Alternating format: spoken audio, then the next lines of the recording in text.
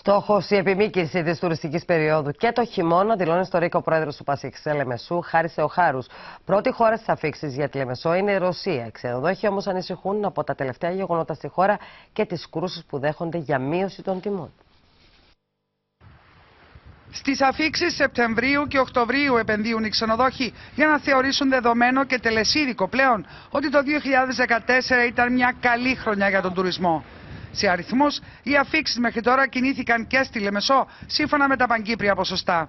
Αύξηση δηλαδή 5,7% στις αφήξεις και 11% στα έσοδα σε σχέση με το 2013, με πληρότητες των μονάδων της τάξης του 75%.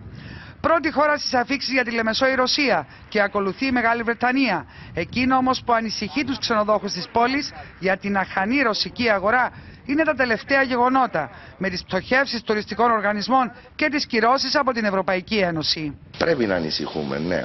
Υπάρχουν, υπάρχουν ενδείξεις ότι αυτούς τους δύο μήνες α, οι τουριστικοί πράκτορες της ρωσικής αγοράς ήδη προβήκαν σε ενέργειες έτσι ώστε να μειώσουν τα κόστη τους ε, και τις θέσεις τις οποίες προαγοράσαν για την καλοκαιρινή περίοδο και συνήθως λήγουν στο τέλος του Οκτώβρη.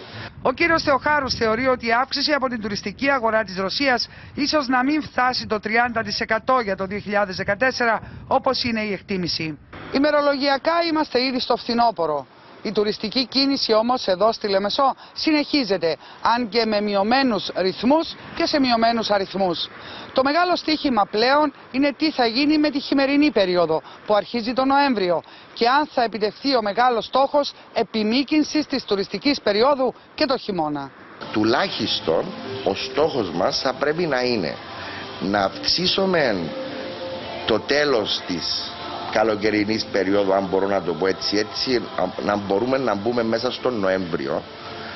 Όπως επίσης να αρχίζουμε και λίγο πιο γρήγορα, ας πούμε τον Μάρτιο.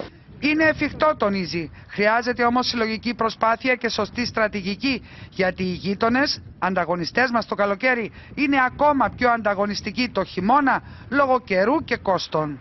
Εάν καταφέρουμε να αυξήσουμε τις αφήξεις μας, αυτές τις, ειδικά αυτούς τους δύο μήνες, θα είναι η αρχή έτσι ώστε να μένουν τα ξενοδοχεία τη χειμερινή περίοδο ανοιχτά. Κανένας δεν χτίζει ξενοδοχείο, δηλώνει με έμφαση, για να το βλέπει κλειστό έξι μήνες το χρόνο.